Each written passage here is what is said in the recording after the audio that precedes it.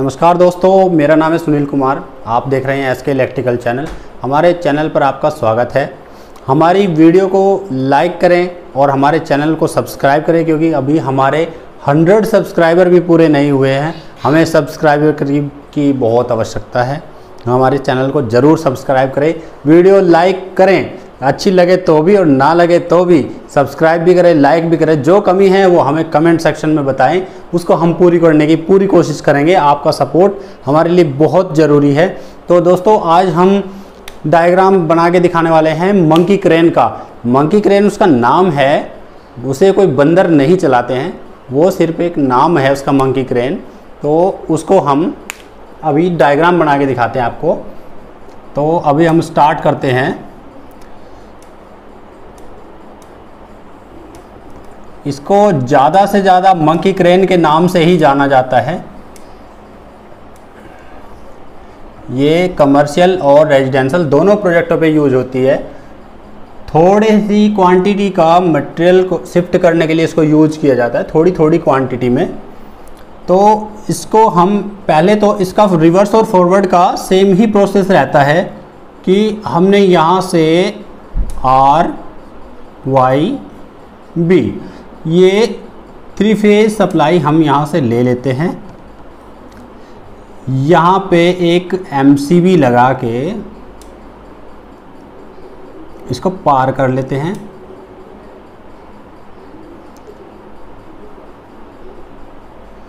और फिर इसको कॉन्टेक्टर में भेज दिया जाता है। तो यहाँ पे ये कॉन्टेक्टर हो गया एक।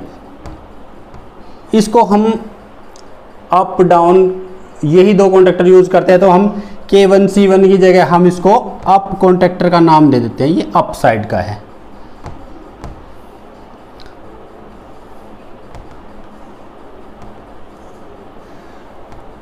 दूसरा कॉन्टेक्टर हम यहाँ पे बना लेते हैं, जिसको हम एज इट इज़ सेम ही फ़ेज़ देने वाले हैं। इसके आर वाई बी अप के आर वाई बी और डाउन के आर वाई बी ऊपर से बिल्कुल सेम रहेंगे। तो इसको हम डाउन का नाम दे देते हैं कॉन्ट्रेक्टर को, कि ये डाउन कॉन्ट्रेक्टर हो गया। तो अभी हम इसको इसमें लुक कर देते हैं। यहाँ पे आके इनके फ़ेज़ चेंज हो जाएँगे कि जो यहाँ पे आर इधर आते हुए ये कॉन्ट्रेक्टर ऑपरेट होगा तो इस पे आर आ जाएगा और अगर ये कॉन्ट्रेक्टर ऑपरेट होगा तो इधर आर आ जाएगा। और यहाँ पे हम मोटर का वैसे ही सिंबल बना देते हैं और अब हम इसका कंट्रोल इधर ले लेंगे। ये आपका पावर हो गया। पावर डायग्राम हो गया तो कंट्रोल अब हम इसका यहाँ पे ले लेते हैं। कंट्रोल के लिए इसमें हम, इसमें मोस्टली दोस्तों कंट्रोल इसका फोर चार सौ पंद्रह वोल्ट का ही रहता है। तो यहाँ पे भी हम फ़ेज़ ही देंगे। और ये फ़ेज़ हम इधर एमसीबी के बाद से आप इसको यहाँ से ऐसे कनेक्ट कर सकते हैं। और दूसरा फ़ेज़ हम यहाँ से ले लेते हैं और इसको हम सिंपली एक रिमोट यहाँ पे हम दर्शाएँगे। ये डायरेक्ट रिमोट में जाएगा, उसका एक रिमोट होता है जिसका यहाँ पे एक एनो पुश बटन होता है उसका। इसको हम अप मान लेते हैं और एक यहाँ पे इसका एक एनो पुश बटन और होता है जिसको हम डाउन मान लेते हैं। तो इसको हम रिमोट समझ लेते हैं। इसमें एक कॉमन पत्ती लगी रहती है। इसको ये कॉमन पत्ती रहती है। यहाँ पे डायरेक्ट फ़ेज़ आएगा तो उसकी लंबी पत्ती में जो दोनों तरफ़ कांटेक्ट देगी, उसको हम यहाँ पे उसका कनेक्शन हम यहाँ पे कर देंगे। उसके बाद हम देखते हैं कि इसमें हम पहले अप को ही ले लेते हैं। तो अप से जब हमने सप्लाई ली तो उसमें हमें डाउन का एनसी लगाना ज़रूरी है। और तब जाके ये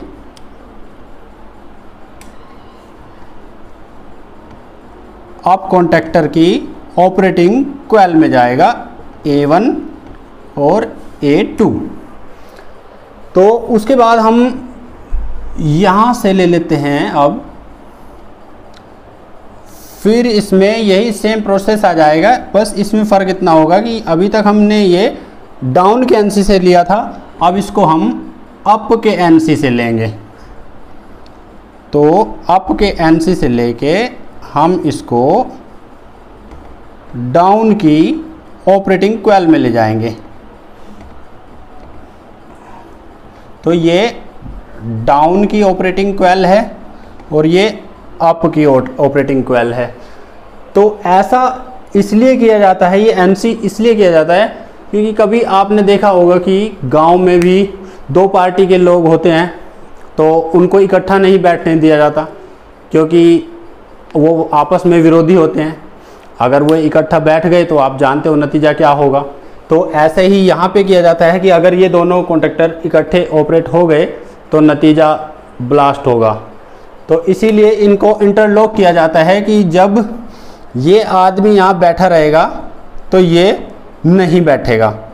और जब ये आदमी यहाँ बैठेगा तो ये नहीं बैठा रहेगा। तो ऐसे ही किया जाएगा ये यहाँ पे कि जब ये कॉन्ट्रेक्टर ऑपरेट है, यहाँ से रिमोट में यहाँ सप्लाई चली गई तो यहाँ से हमने पुश बटन को प्रेस किया, ये एनओ पुश बटन है। ये एनओ पुश बटन हमने प्रेस किया तो इसके एनसी से होते हुए डाउन कॉन्ट्रेक्टर के एनसी से होता हुआ, ये अप कॉन्ट्रेक्टर के ए सॉरी यहाँ पे हमें ए टू हम नीचे लेते हैं हमेशा। तो ए वन ए टू फ़र्क कुछ नहीं पड़ता है, कहीं पे भी लिख सकते हैं उसमें। उनको बदल भी सकते हैं, कोई दिक्कत नहीं। A one A two symbol है। पता तो हमें होता है कि दो सिरों पे देनी है सप्लाई एक नीचे और एक ऊपर। तो इसमें ये, इसके एन से होता हुआ अप कॉन्ट्रेक्टर की ऑपरेटिंग क्वेल में जाएगा। तो जब तक ये ऑपरेट रहेगा, तब तक वो इसको ऑपरेट नहीं होने देगा। क्योंकि उसकी सप्लाई इसके एनसी से होती हुई गई है। इस कॉन्ट्रेक्टर का एनसी यहाँ पे यूज़ हुआ है। अप कॉन्ट्रेक्टर का एनसी यहाँ पे यूज़ हुआ है और एनसी जब तक कॉन्ट्रैक्ट आगे नहीं जोड़ेगा, जब तक ये बंद नहीं होगा। तो ऐसे ही फिर हमने यहाँ पे ये एनो है इसको जब तक जितनी देर तक हम प्रेस करके रखेंगे, उतनी देर तक ही चलेगा। उससे ज़्यादा ये नहीं चलेगा। यहाँ पे होल्डिंग सप्लाई का प्रयोग नहीं हुआ है। तो ऐसे ही यहाँ से जब हम इसको प्रेस करेंगे डाउन को तो ये अप वाले कॉन्ट्रेक्टर के एनसी से होता हुआ इसकी ऑपरेटिंग क्वेल में जाएगा डाउन की। तो डाउन कॉन्ट्रेक्टर ऑपरेट हो जाएगा। तो इसका प्रोग्राम ऐसा ही रहता है मैनुअली ऑपरेट होती है। जितनी देर हम दबाएँगे, उतनी देर ये चलेगी। जब हम छोड़ देंगे तो नहीं चलेगी। तो दोस्तों, मुझे उम्मीद है कि आपकी समझ में ये डायग्राम आया होगा। तो उम्मीद करता हूँ कि आपको ये वीडियो लाइक ज़रूर करोगे, आपको पसंद आई होगी। धन्यवाद दोस्तों।